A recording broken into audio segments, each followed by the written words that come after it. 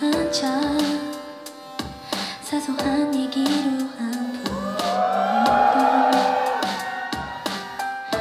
가끔 대화가 끊기는 순간에는 차가운 정적 우릴 얼게 만들어.